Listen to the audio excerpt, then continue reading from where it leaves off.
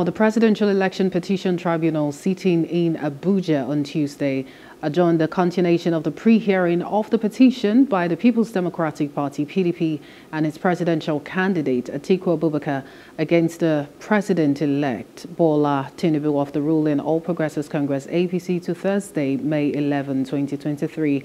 The PDP and Atiku in the petition is challenging the declaration of Tinubu as the winner of the February 25th presidential election by the Independent National Electoral Commission INEC. The counsel for the petitioners Chris Uche, SAN, at Tuesday's proceedings informed the court that they had filed and served a motion dated 7th May requesting a live broadcast of the Presidential Tribunal proceeding.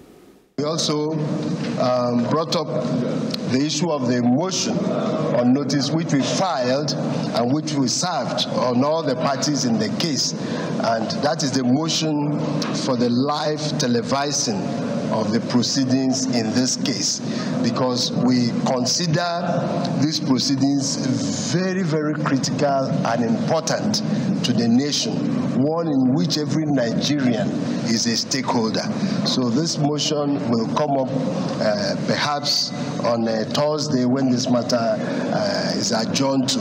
It's been expected that the other parties will file their responses.